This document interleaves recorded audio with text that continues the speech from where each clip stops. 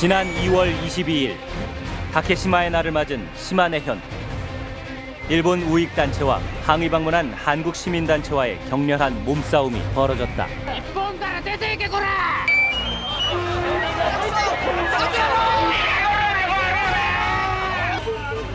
일본 각지에서 몰려든 우익 단체들로 시내는 긴장이 고조됐다.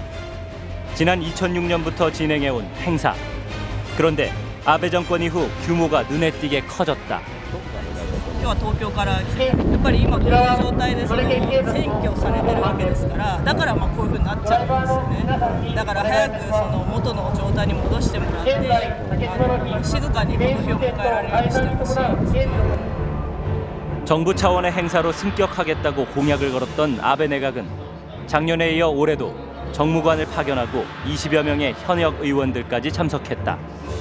安倍内閣は一昨年12月の発足とともに歴代内閣で初めて領土担当の大臣を置きました我が国の領土である竹島は政府地元の皆様のみならず国民全体で力を合わせて対処する必要のある課題だと考えております 이날 참석자들은 위안부 문제 해결을 촉구한 시마네현 의장에게 야유를 보내는 등 위안부 문제에 민감했다.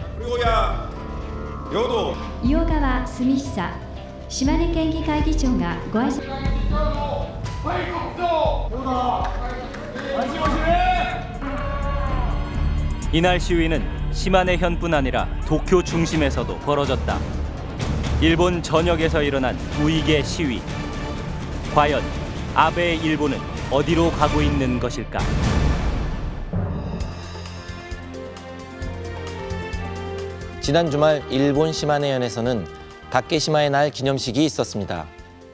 2012년 제2차 아베 내각이 들어선 이후 행사의 규모가 더 커졌다고 합니다. 올해 특이한 점은 위안부 문제가 영토 문제보다 더 부각됐다는 것입니다. 공교롭게도 며칠 전 아베 내각에서 위안부 동원의 강제성을 인정한 고노다마를 재검증하겠다고 나섰습니다. 무엇보다 아베 총리가 강한 의지를 내비치면서 우익들의 목소리도 커지고 있습니다. 아베 총리는 왜 위안부 문제를 이토록 부정하는 것일까요? 각종 언론의 기사를 연재하는 요코다 하지메 씨는 지난 몇 년간 아베 총리에 대한 기사를 쓰고 있다.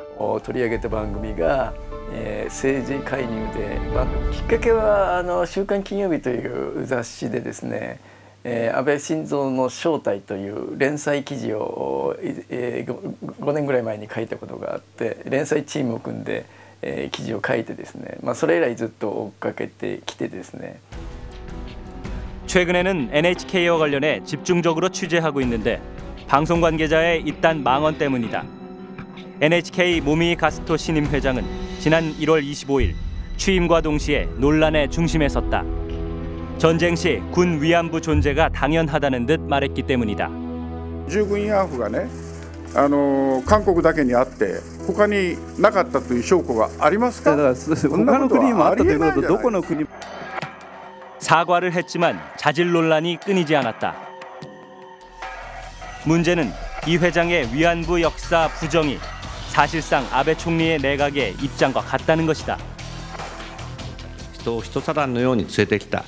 事実があったかどうかということについてはそれは証明されていない 엄연한 역사적 사실을 부정하는 아베 총리.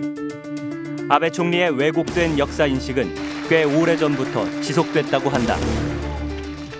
아베 총리는 1990년대 중반부터 역사와 관련된 다양한 보수 모임에서 중책을 맡았다. 그가 사무국장을 맡았던 일본의 앞날과 역사를 생각하는 젊은 의원들의 모임. 그는 회원들과 함께 일본 교과서에서 위안부 강제 연행 내용을 빼라고 끊임없이 요구해왔다.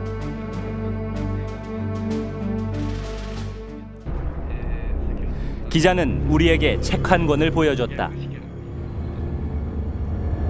위안부와 관련한 아베의 발언이 담겨 있다는 책이다. この歴史教科書への疑問といううーこう 安倍さんたち若手議員がまとめた本なんですが、えーここに安倍さんの発言が載ってて新会長とまあ瓜二つの発言をしていると でそれはあの、まあ、キーセンハウス発言と 실제로는 한국에 기생집이 많았고 그런 장사에 많은 사람들이 종사하고 있었기 때문에 위안부 활동이 터무니없는 행위가 아니라 생활 속에 꽤 녹아 있었던 게 아닌가 하는 생각이 든다. 라는 글 등 위험한 발언이 담겨 있었다.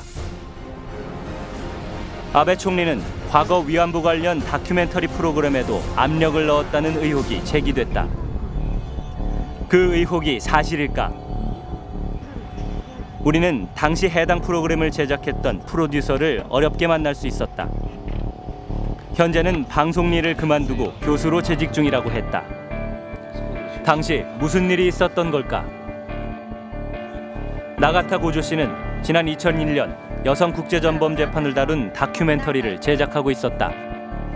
위안부, 가해병사 등 실제 인물들의 모의 재판, 당연 관심도 집중됐다. 민감한 주제이다 보니 오랜 기간 준비하고 자료 확보에도 신경을 썼다고 한다. 그런데 방송 전날 갑자기 내용이 뒤바뀌었다고 한다.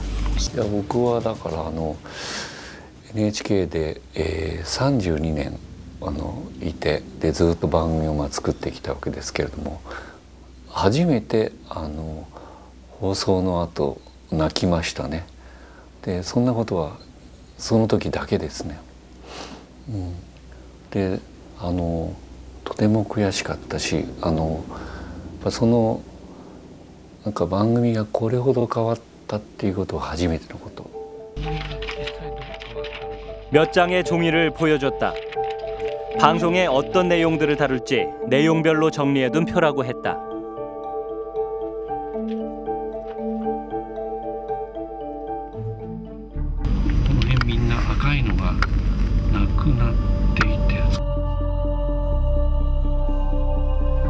원래 나가기로 했던 방송 내용은 윗선의 지시로 인해 상당 부분 편집됐다.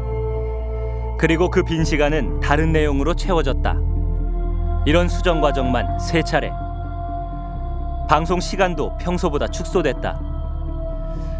도대체 어떤 내용이길래 윗선에서 삭제를 요구한 것일까?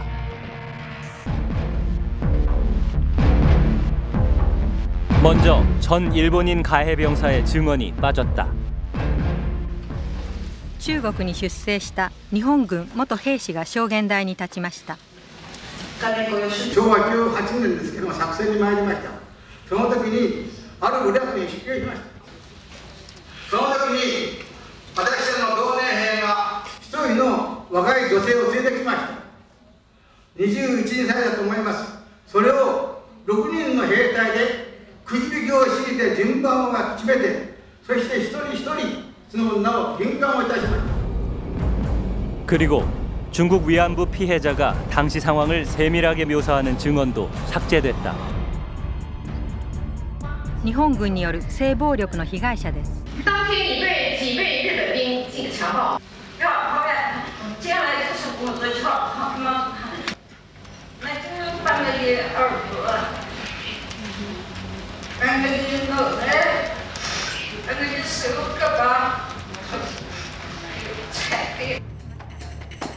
힘겹게 과거의 기억을 떠올려 증언을 하던 할머니는 그 자리에서 졸도하고 말았다.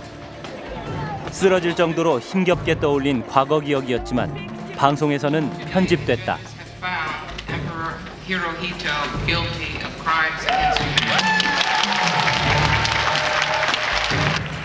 당시 법정에서는 일본의 천황에게 유죄 판결을 내렸다. 그런데 이 부분은 내레이션으로 덮어졌다고 한다. 그런데 수정 지시는 끝나지 않았다고 한다. 방송에 있어서 최종 작업인 내레이션 대본에도 수정 지시가 있었다.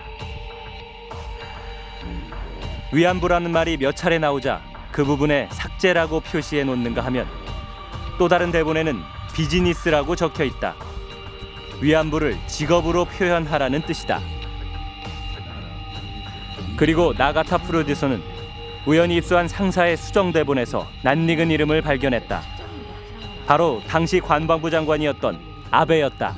でこの部長がですねその実際番組を変えるようにっていうふうに言われた時に、えーその台本の最初のページにですね 安倍の名前をカタカナで書いたんですね。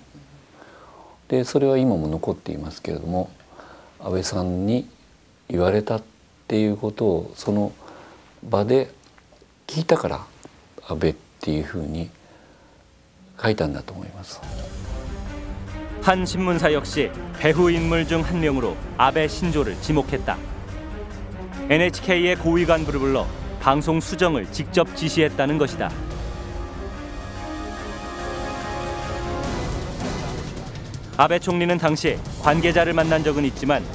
방송 내용에 압력을 가하지는 않았다고 주장했다. 私が NHK 側に対して圧力をかけたり、えー接触をしたということは全くうありません、えー私が呼び捨てたという事実もないんですねもし、えーそれが事実であるのであればですね私がいつどこで誰と何を話したかをですね、えーそのお方にですねえー証明してもらいたいもしそれができないのであればですね私にはっきりと謝罪をしてもらいたいと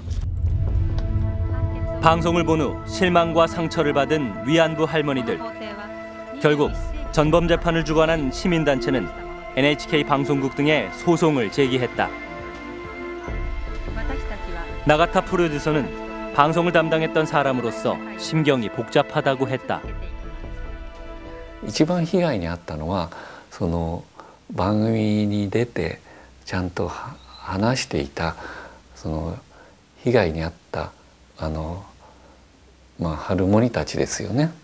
でそのおばあさんたちにやっぱ申し訳ないっていうふうに思うようになるんです。でおばあさんたちに「ごめんなさい」って私が言えたのは去年ですよ。うん、それぐらい時間がやっぱり必要だったんですね。 재판은 NHK의 책임 유무에 집중됐다. 아베 신조의 편집 개입 의혹은 규명되지 않았다.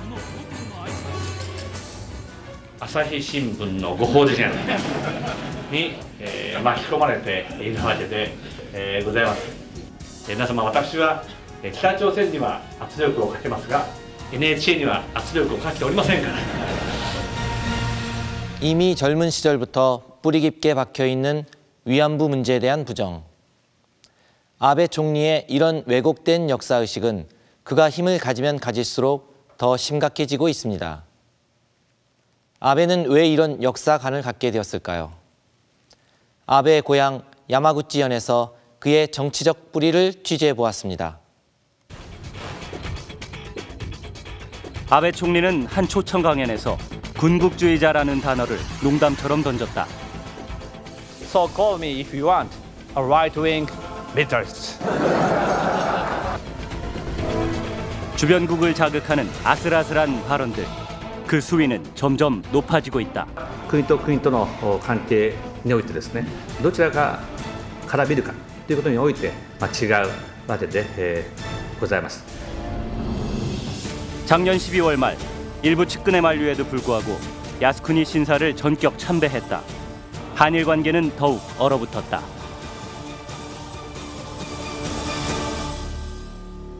それが本来の日本の姿です 日本を取り戻す 잇따른 망언과 도발 행위를 진두지휘하는 아베 총리. 그의 머릿속에는 도대체 어떤 계산이 숨겨져 있는 것일까? 또 어떤 정치적 배경이 깔려 있는 걸까? 2003년 한국에 귀화해 독도 종합연구소장을 맡고 있는 호사카 유지 교수. 그는 아베 총리의 행동에 대해 의외의 해석을 했다.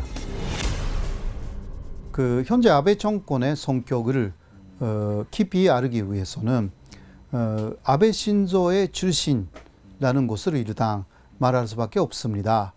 아, 아베 신조의 출신은 야마구치현이고요. 춘주 할아버지 시대부터는 어, 대상이자 아, 정치가로서 상당히 명문의 가문이었습니다. 일본의 혼슈 남서부에 있는 지역으로 예전부터 중국과 한반도를 잇는 해상교통의 요충지 야마구치현. 아베 총리는 도쿄에서 태어났지만 종종 야마구치현 출신이라고 말해왔다. 전문가들은 야마구치현이라는 배경이 아베를 굳건히 떠받치고 있다고 말한다. 이곳은 아베 총리의 선거구이기도 하다. 과연 야마구치와 아베는 어떤 관계로 엮여 있는 것일까?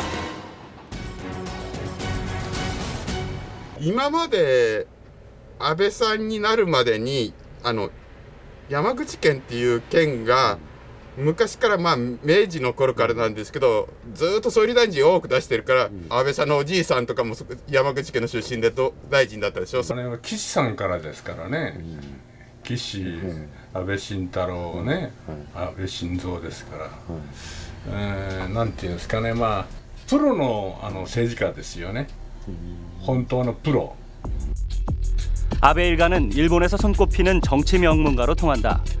아버지는 외무대신이었던 아베 신타로다. 외할아버지는 56, 57대 총리를 지낸 기시 노부스케, 그의 친동생인 사토 에이사쿠 역시 총리를 지냈다.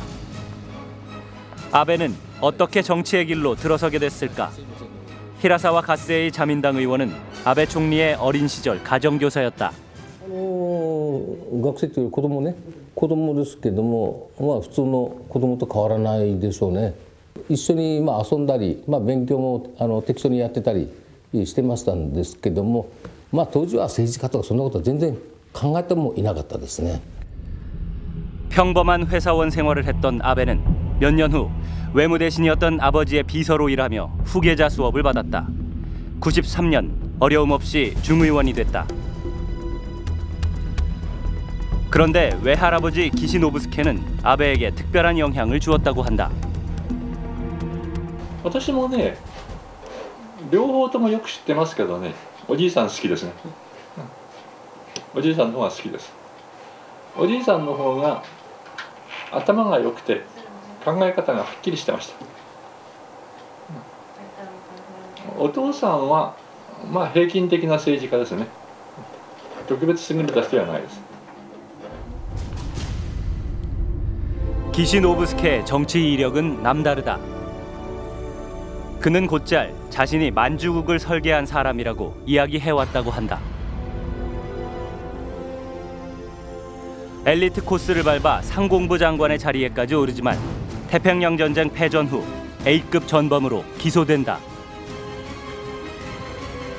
A급 전범 7명을 교수형에 처한 미국은 이상하게 기시노부스케를 석방한다.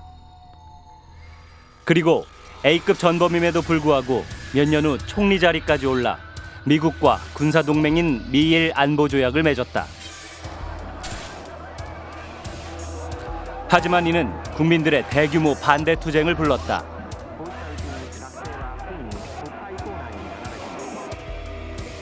기시노브스케는 괴한의 칼에 습격당하기도 했다.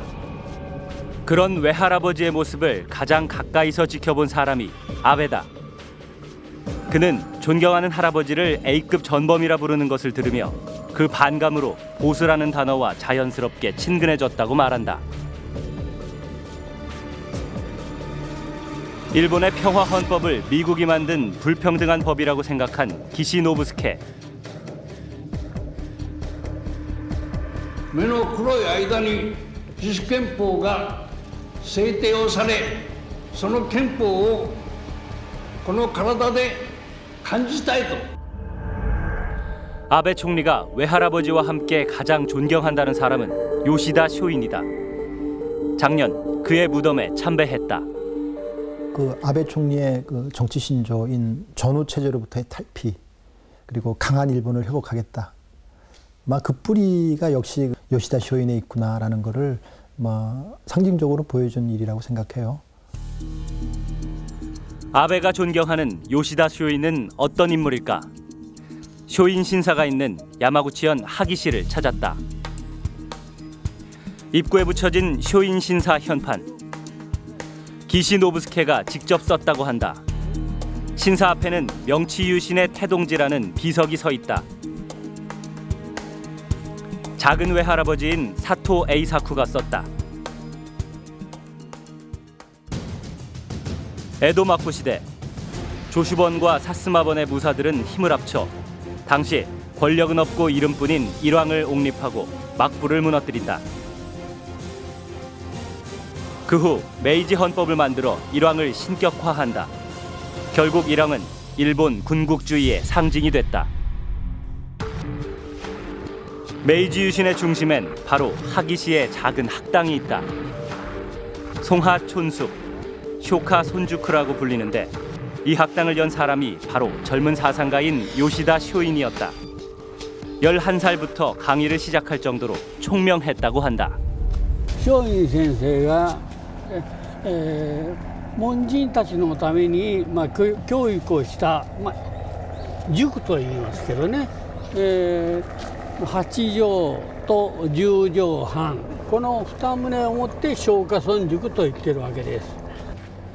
最初はあちらの8畳一間だったんですよところがあの門人たちがどんどんどんどん増えてきまして90名を超えるようになりましたんでいかにも手手間になったもんですからこちらは松陰先生と門人たちが自分たちで古木でもって建てたんですね建て直したものですね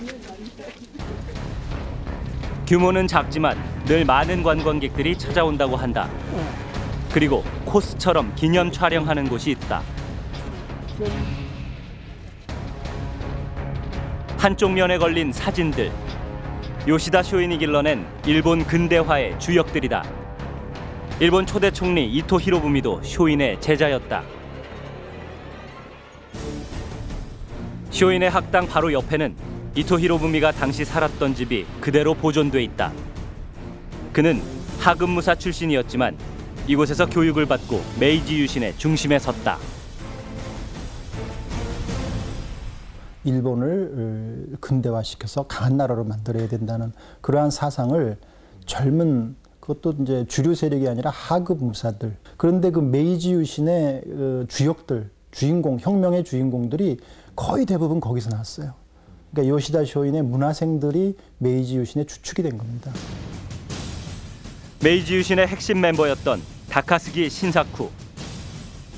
일본 군국주의의 아버지라 불리는 야마가타 아리토모.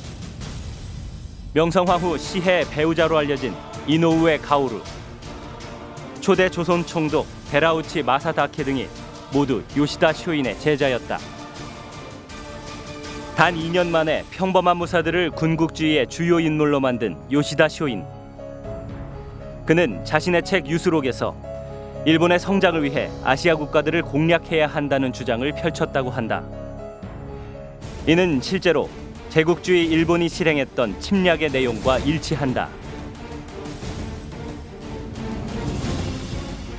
그 야마가타 아리토모부터 카츠라 타로까지 전부 다 육군 그 핵심 부분 오야마 이와오도 그렇고 이게 전부 다 야마구치현 출신이고 그, 그 해군은 어, 저 도고 시계놀이부터 전부 다 해, 해서 이게 에, 사츠마 출신이고 그리고 이게 육군 해군의 분업뿐만 아니라 야마구치형 육군은 한반도 만주 어, 대륙 이런 식으로 자기들이 기득권을 가졌습니다. 이런 그 흐름 속에서 그 말하자면 한반도와 동북아에 대한 침략에 앞장섰던 것이 바로 야마구치형이고 거기에 막대한 자기들의 이권을 갖다가 가지게 된 거죠. 요시다 쇼이는 29살 때 막부의 고관을 암살하려다 발각돼 사형당했다. こちらですね 묘는 이곳에 있지만 신위는 야스쿠니 신사의 제1호로 안치돼 있다. お回りしたわけなんですやっぱりあの普通通りに こういう形でしょうねこういう形ね 아베 총리가 이곳을 찾은 모습을 어떻게 보아야 할까? 요시다 쇼인이라고 하는 것은 막번 체제 근세 일본의 일종의 종언을 만들어낸 일종의 어, 막번 체제의 붕괴 신호탄을 만들어낸 선거자적 위치에 있었다고 한다면 그런 요시다 쇼인을 숭배한다라는 본인의 언행은 결국 지금까지 와는 다른 새로운 일본을 만들어내겠다. 그것을 본인의 저서에서는 이제 아름다운 일본이라는 표현을 했습니다만 그 아름다움은 결코 어, 한국과 중국을 포함한 동아시아의 나라들과 사이좋게 어, 공영 공존해 나가는 그런 모습은 아닌 것 같습니다. 작년 일본 주권의 날 정부 행사에 참여했던 아베 총리 갑자기 일왕을 향해 만세 삼창을 외쳤다.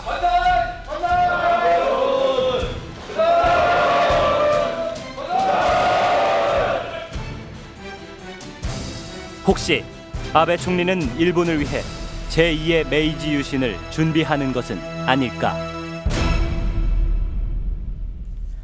천황폐하 만세는 군국주의 일본을 상징하는 구호입니다. 역사에 대한 돌출 발언으로 끊임없이 주변국을 자극하고 있는 아베 총리. 이런 아베 총리의 역사 왜곡 행보를 일본 사회는 어떻게 바라보고 있을까요?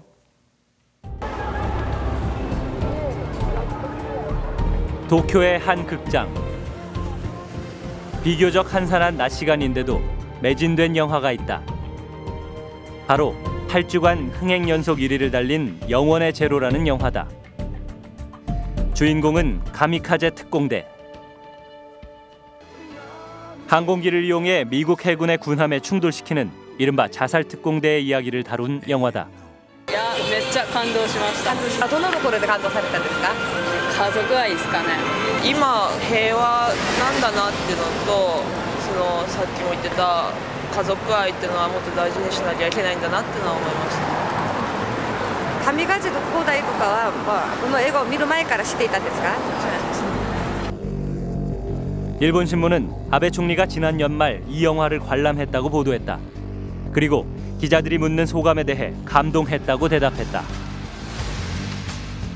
지난 2월 4일 일본의 한 지자체에서는 바로 이 가미카제의 유품과 편지 등을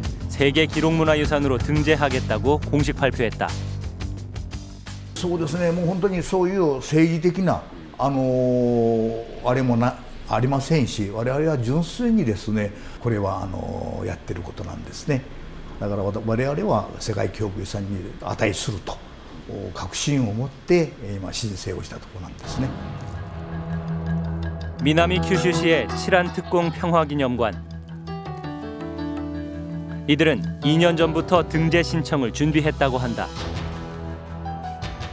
그리고 관람객의 서명을 받으며 호응을 유도하고 있다.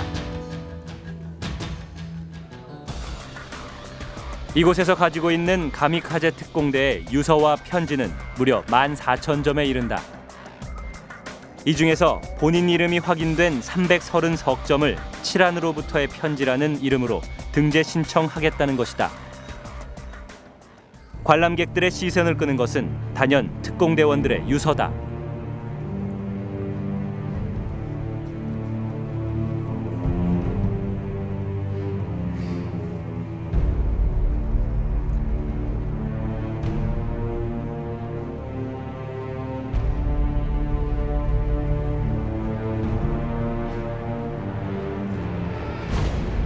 대원은 대부분 17세 전후의 소년병들. 과연 이들은 어떤 마음으로 유서를 쓴 것일까? 우리는 실제 가미카제 특공대원이었던 사람을 수소문 오이타시를 찾았다. 항공연습생 박물관. 마당의 항공기 잔해부터 눈길을 끄는 이곳은 전 특공대원이 직접 사비를 털어 만든 곳이라고 한다.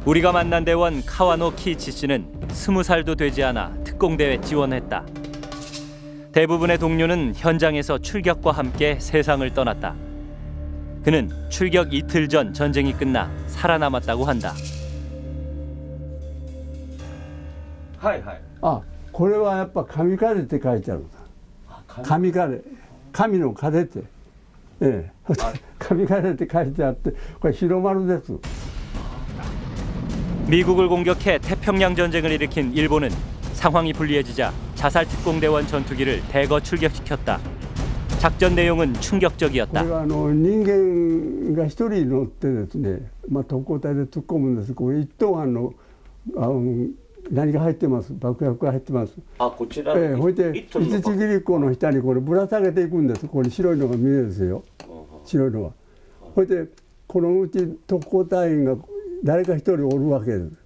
このこの人がそうやったらこの敵電に行ってからこの簿記からこれに乗り移るんです。それまではこれも空っぽで行きますから。ほいでこれ乗り移ったらこれ切り離します。本当もうこれはもうここにロケットがついてますからもうその推進でまっすぐ行くだけ。 말 그대로 인간 미사일이 된 것이다.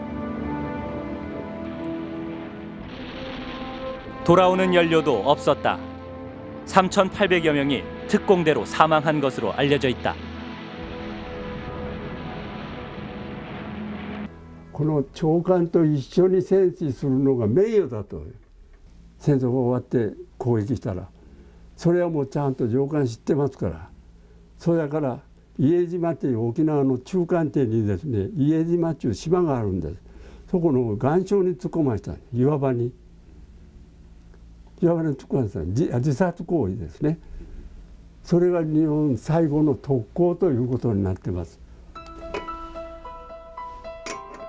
한쪽에 작은 야스쿠니 신사를 만들어 먼저 떠난 동료를 기린다는 카와노 씨.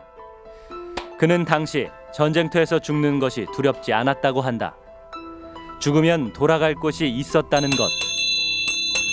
結局それはね やっぱりあの亡くなった人、まあ、国のために亡くな戦死した人は靖国神社に祀られるということ本当結局まあ神になるんだと神様になるんだということをですねもう十分なんていうかもう皆やっぱり教えられとる順化でですねあの、まあ、あそこに祀られるということが分かってますから戦死者は。それをそやからそこで「おい会いましょう」っていうのが歌にもあります「靖国の桜の梢に咲いて会おう」っていうね 최대 규모의 신사 야스쿠니. 이곳엔 가미카제 대원들을 포함 전쟁에 참가했던 250만 명의 전몰자들이 합사돼 있는 것으로 알려져 있다. 야스쿠니 신산의 군사 박물관엔 엄청난 전몰자들의 사진이 있다. 이곳을 야스쿠니의 신들이라 부른다고 한다.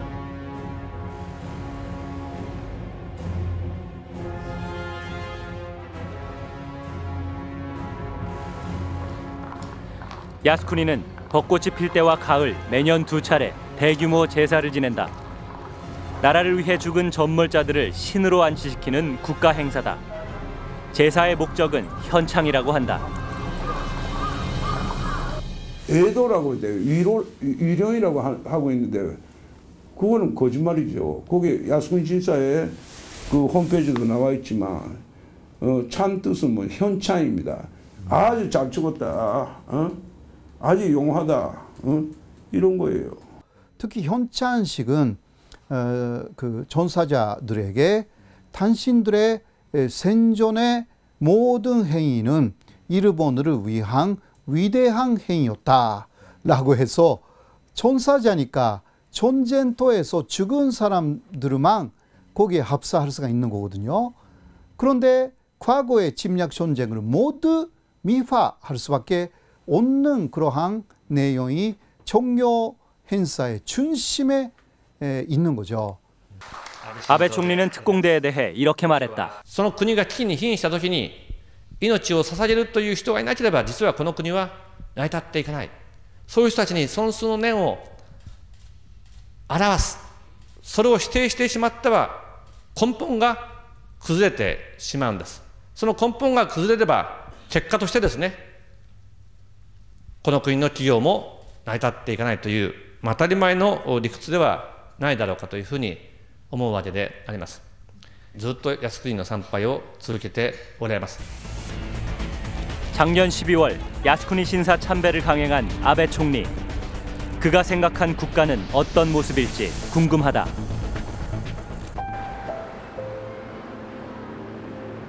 태평양 전쟁 피해자 보상 추진 협의회 대표 이희자 씨의 아버지는 그녀가 태어난 지 13개월 때 강제 징용됐다고 한다. 생사조차 알 수 없었고 아버지가 남긴 건 사진 한 장뿐이었다. 아버지가 언, 어디서 돌아가셨는지 모르니까는 그러니까는 집에서 임의적으로 돌아가신 것 같이 사망 신고를 할 수밖에 없는 거예요. 그러면 이제 우리 할머니 할아버지는 어떻게 생각하시겠어요?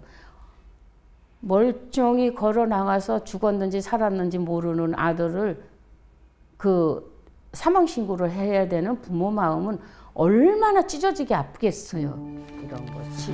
아버지를 찾기 위해 한국과 일본을 오가며 찾아다녔다. 그리고 조금씩 흔적들을 찾을 수 있었다고 한다. 그중 한 문서를 통해 아버지가 징용 당시 군인들의 막사를 짓는 일을 했고 전쟁 중 파상풍으로 입원했지만 끝내 사망했다는 것을 알 수 있었다.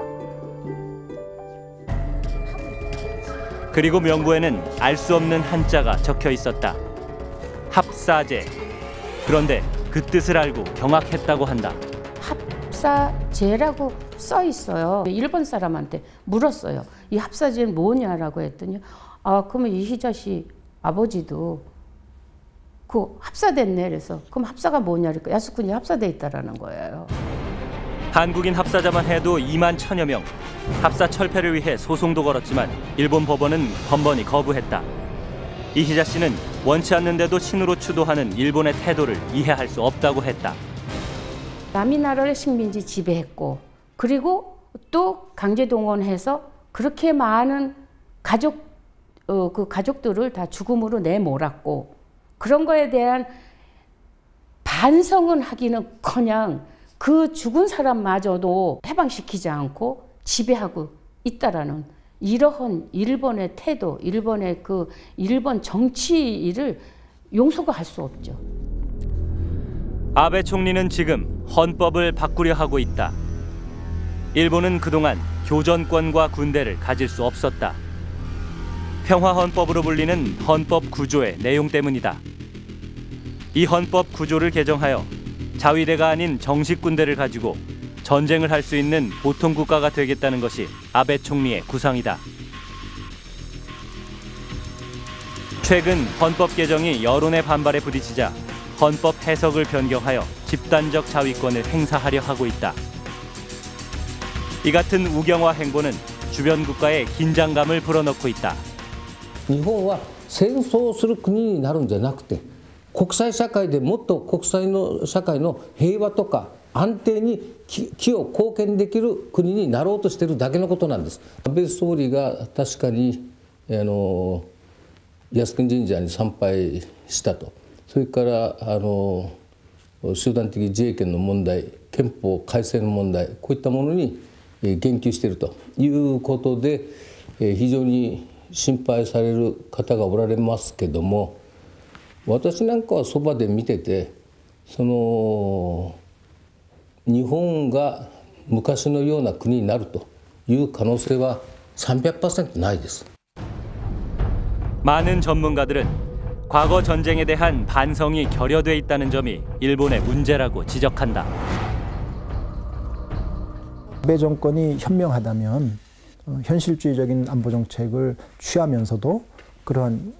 야스쿠니 참배로 대표되는 그 역사 인식의 문제, 전후 질서에 도전하는 문제에 대해서는 명확히 선을 긋고 어, 상대방이나 국제사회가 오해하지 않는 그런 모습을 보여줘야 사실은 마땅한 것인데 그러지를 못하고 있어서 이제 안타까운 것이죠.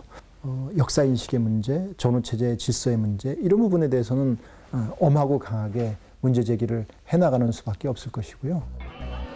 주변국의 반발을 사는 우경화에도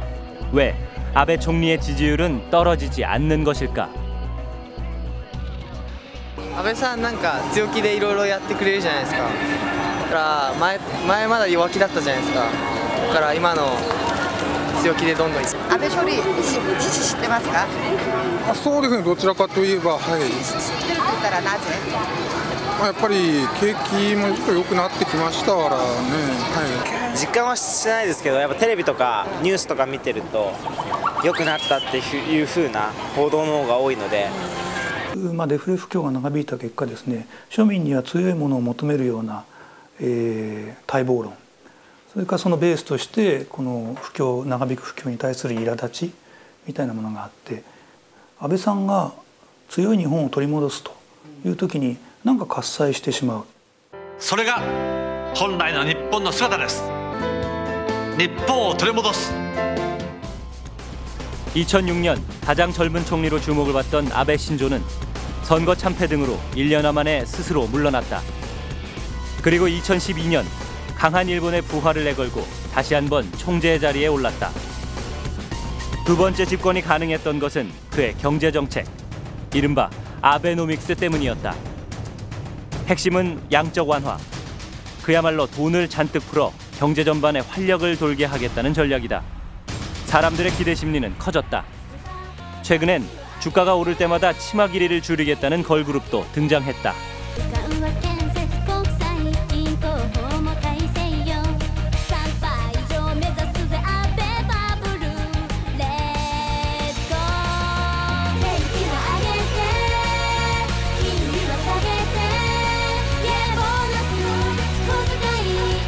ちちなみにですね、えー就任から1年経ちますと今までですとお大体政権の支持率は大きく下がるんですところが安倍内閣は全然さほとんど下がってないんですですから依然として国民からよくやってるという評価を受けていると思いますけど 얼마 전 도쿄도지사 선거에서는 아베가 지지하던 마스조의 요이치가 당선되며 그야말로 아베의 질주는 계속되고 있다.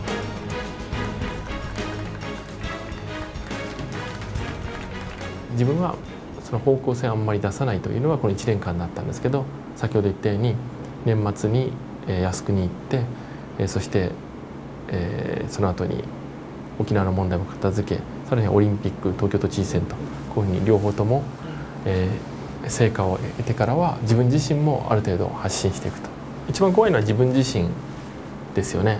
あの安倍総理がここは得意だというところで調子に乗ると失敗すると。例えば憲法改正っていうのを、まあ、狙ってたんですけど前の政権から 지난 2월 14일 발렌타인데이 내일의 자유를 지키는 젊은 변호사 모임은 아베에게 좀 색다른 선물을 보냈다. 바로 일본의 많은 법학도들이 교재로 선택하는 헌법책과 이라크 어린이 돕기 초콜릿이었다. 최근 무리한 헌법 개정 추진과 입헌주의를 부정하는 듯한 돌발 발언에 대해 따끔한 충고를 해주기 위해서였다. 一国の民主主義国家の元首がもしかしたら立憲主義というものの性格を正確にご理解いただいてないんじゃないか学んでほしいというか私たちの思いというかそういうものを届けたかったんですねそれのほかなんか反応はありましたかね残念ながら今日までのところは何もないんです 얼마 전 프랑스 앙굴렘에서 위안부 만화전이 있었습니다. 일본의 정부 단체들의 방해로 우여곡절 끝에 전시가 시작되었는데요. 일본이 항의하자 조직위원회는 이렇게 말했습니다. 알려지지 않은 사실을 알리는 것이 정치적인 것이 아니라 사실을 왜곡해 알리는 것이 정치적인 것이다. 더 이상 역사를 왜곡해서 정치적으로 이용하는 일이 없기를 바랍니다. 늦은 밤까지 시청해주신 여러분 감사합니다.